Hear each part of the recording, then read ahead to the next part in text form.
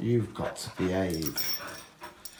Right, so we've got a makeshift backdrop and get off. Come here, young lady. Look at that cheeky face. Let me look at that. Hey, you're biting. So, a makeshift backdrop. So, here, quiet. Here, we have a canicross belt. Stop it. Right, this will not be easy to do. Stop biting it. I mean it. Right. She's off a nut. Right, so here we have a canicross belt, and I've got a Storm Shield, you can see. I think I got it from Blacks in the Lake District for hiking, and what I've done, as you can see here, the web... Get off a camera! Bite the camera! Not bite the camera! I don't care! Shut up! Right, so here you can see this mesh bit. I've glued it onto a canicross belt and I've stitched along there. Now this stitching was white cotton and I've painstakingly gone over it all and coloured it in with a Sharpie. So you've got a front pocket there, mesh. You've got this to draw it up tight. You've got a zip pocket in there, small zip pocket. You've got a large compartment, and then you've got a small zipped compartment, and you've got a key holder. You've also got two mesh pockets with tension adjusters on the side, and there for the bottles. I've got the original bottles. Um, I don't think I've ever used them, so I've given them a clean out with just being sterilised at the minute. I've stitched and glued it to a canicross belt. Now the canicross belt was off eBay and it was about £15. And as you can see here, it's got a big buckle on that side. And where is it? An extension bit there with a buckle. And you've got these straps here and these clip together. That side clips to that side with this and the canicross line goes on that. I've been looking at waist packs, dog hiking ones, Hertamate one and Ruffwear Mate one and they're around about 70 to 90 pound and that's GBP, Great British Pounds, and it seems a lot of money to spend when I've already got stuff in. I like making things. A lot of the videos on my channel I'm in making stuff like the Berlingo for one is the biggest one, but I've made all sorts. Anyway, sidetracking. So you turn it round, you got a padded bit there. This waist pack was also padded as well. So if I'll just clip them together and show you what it's like. She's settled down now. She's a monkey. So it fastens round your waist like that first. You've got that layer like that. I'll show you next. Right, so you've got it like that, fastened like that. And if you get this side and this side and we clip on together like that and it goes on the canicross belt as you can see it'll fasten to the canicross line I mean. Like let me show you move your head out of the way like that. If I've got it positioned right the camera. So that's how it fits. I'll just show it from this angle so you can see it better. I'm not sure whether that was a good angle. So it fits like that. Them two join and it goes to the canicross line or dog line or dog leash but it has to be a leash with a carabiner. So that's the back of it. She's wetting it all licking it. This is prototype version one of Dog Pakk.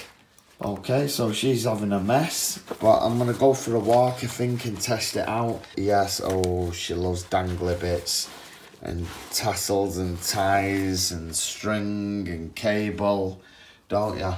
You are naughty chewing things. She just likes to chew, don't ya? Eh? She just like to chew. Yes. What do you think of Dog Pakk? Eh? Do you like it? Does it mean you can go on adventures? Yes. Do you like adventures? Do you like going out? You like lots of things.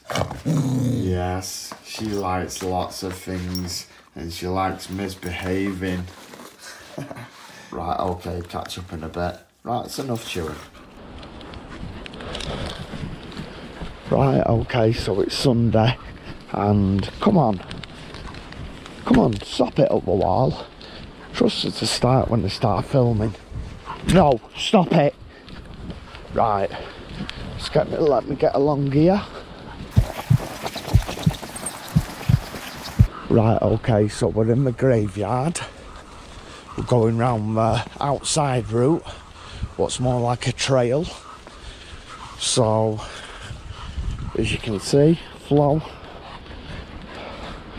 Let's just wait on a minute. Right, so I've got the belt on. You can see, you can face it behind me. Not sure whether that can show it. But we've got a popper, we've got a lead with a bungee on, we've got a carabiner. Don't, hey, don't do that. Okay, so get the carabiner. It's an unscrew one. A locking one, I mean, and fasten it onto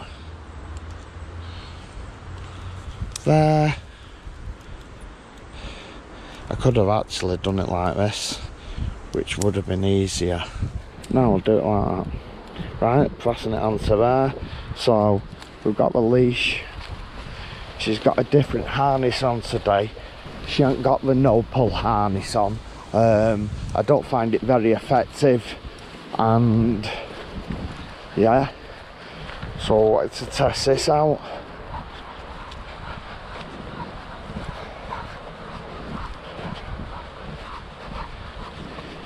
it's not the greatest harness I've got on her. It's uh, I'm not sure if we use them in flyball um, but what I've been looking at the X back I think it's called and it comes round the side and it allows them to breathe better during dog sports. So I think when I get back I'm going to order one of them. I'm going to measure her up and order one because I've ordered a scooter so I can do bikejoring and bikejoring is a dog on a bungee leash an antenna on a bike or a scooter and we pull you and we don't completely pull you all the way but you help as well.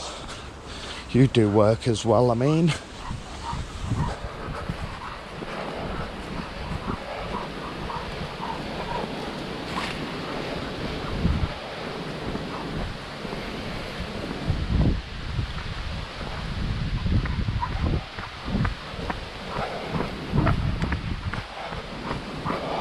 Whoa, it's turning into a run.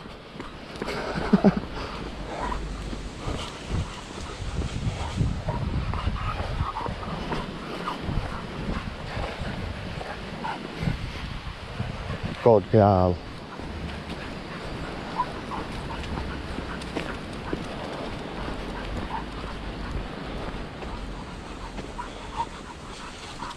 So really this is just a walk to test it out and test the belt out, test the lead out, test the harness out on flow.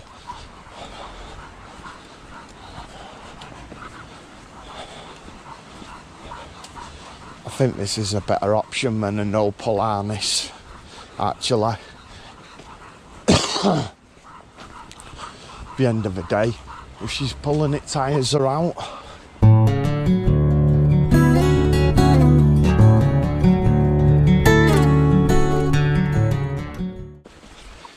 Got red down sniffing all the little butterflies.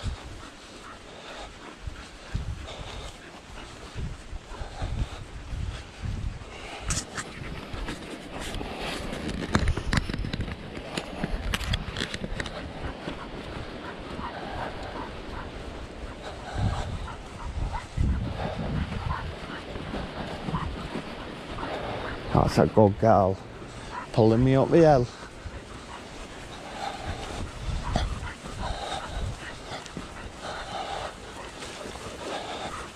To the left, Good to the left. Good.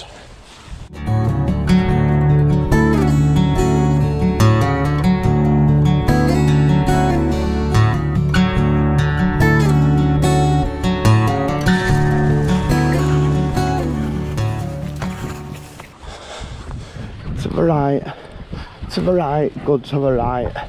As you can hear, this harness makes her breathe quite heavy. I think it's pressing on the throat, which ain't good.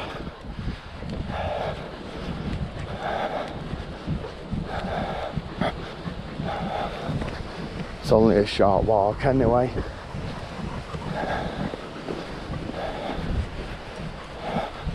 To the right, good to the right.